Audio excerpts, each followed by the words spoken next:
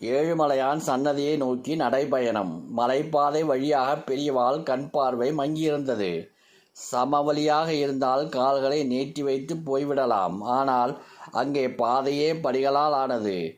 தொண்டர் வித்யார்த்தி நாராயணன் என்பவர் மகா பெரியவாளை கையை பிடித்து அழைத்துச் செல்வது போல மிக அருகில் இருந்தபடி படி படி என்று உரத்த குரலில் சொல்லிக்கொண்டு வந்தார் பெரியவாள் கவனமாக காலை உயர்த்தி மேலிருந்து படியை வைத்து நடந்து கொண்டிருந்தார்கள். வித்யார்த்தியின் குரல் மலைகளில் படி படி என்று எதிரொலித்து பெரியவாள் ஒரு படியில் நின்று விட்டார்கள்.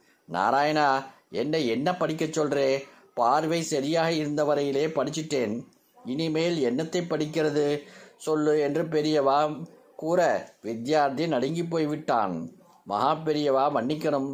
பெரியவா சரஸ்வதி சுரூபம். அவசரப்பட்டு விட்டவனைப் போல உடைந்த குரலில் கெஞ்சினான் வித்யார்த்தி. அப்போ நான் இன்னும் பிரம்மஸ்வரூபம் ஆகலே என்கிறாயா? வித்யார்த்திக்கு தொண்டையை அடைத்து கொண்டது. பெரியவாள் லிமிட்டை தாண்ட மாட்டார்கள். இனிமேல் படி வந்தால் கோவிந்தா கோவிந்தான்னு சொல்லு. புண்ணியமாவது கிடைக்கும்.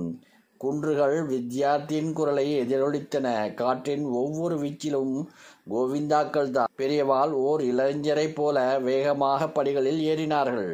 ஹர ஹர சங்கர ஜய ஜய சங்கர ஹர ஹர சங்கர ஜய ஜய